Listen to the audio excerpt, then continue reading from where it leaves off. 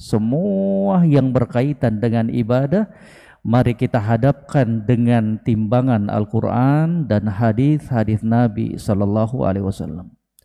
Bagaimanapun indahnya, bagaimanapun bagusnya menurut manusia dari amalan yang mereka lakukan, bagaimanapun mendatangkan ketenangan dalam hati mereka dari amalan-amalan yang mereka lakukan kalau semuanya tidak ada bimbingannya kalau semuanya tidak ada tuntunannya di dalam agama kita maka nggak boleh kita ikuti. Nggak boleh kemudian kita asal-asalan untuk mengamalkannya.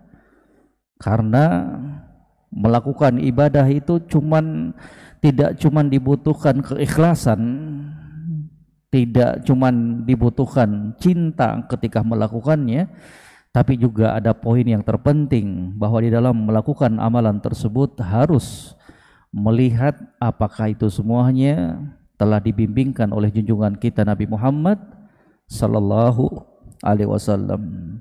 Man amila amalan laisa alaihi amruna fahuwa raddun ay mardudun. Setiap amalan apa pun amalan tersebut. Kalau tidak ada bimbingannya kalau tidak ada contohnya dari Nabi sallallahu alaihi wasallam fahuwa raddun ay mardudun maka akan tertolak. Tidak akan diterima di sisi Allah Subhanahu wa taala. Jangan jadikan agama kita sebagai permainan. Itulah yang datang celaannya di dalam Al-Quran, tepatnya dalam surat Al-A'raf ayat 51.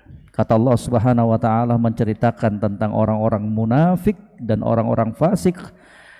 Ittakhadhu dinahum lahwa wa la'iba wa gharrathumul hayatud dunya.